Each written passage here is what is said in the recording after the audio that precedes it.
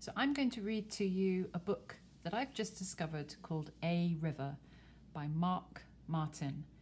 And this picture book, my class, Havana, Year 1, will be using on Thursday when we have our Earth Stories event. I hope you enjoy it.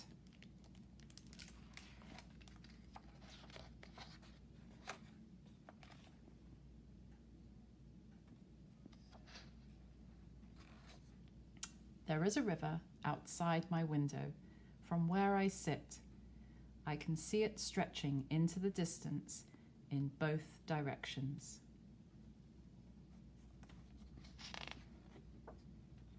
Sometimes I imagine myself floating along the river, swept away in a silver boat toward the horizon. Where will it take me?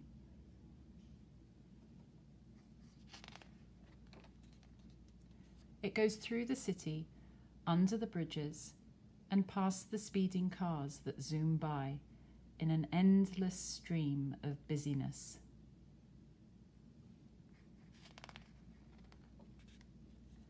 It flows beside the factories with their machines grinding and plumes of smoke rising into the sky. It carries me past the farms and animals and moves beyond the fields that look like giant patchwork quilts. It slides into the hills and valleys, and I can hear the murmuring of running water that grows louder and takes me tumbling down a waterfall taller than any building.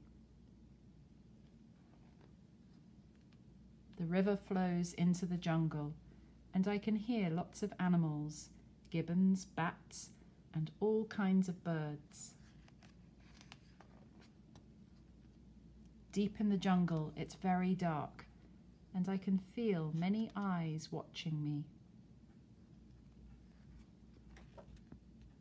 As I sail through the mangroves, the river opens up and takes me to the ocean. It's windier now, and the air smells of salt and seaweed.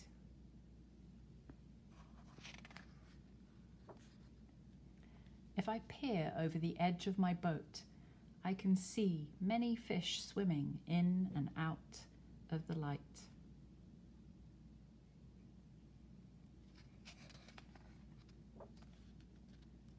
I look up, I see clouds moving and it begins to rain.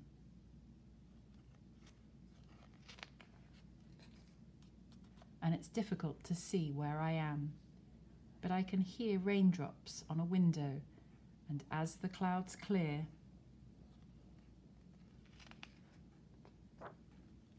I'm sitting in my room again, looking through those raindrops on the glass and gazing out across the sleeping city.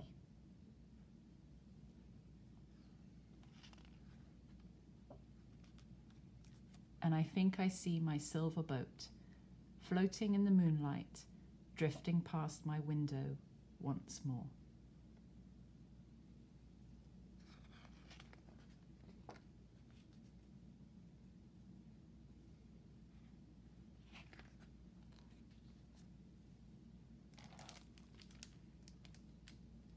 Thank you for listening.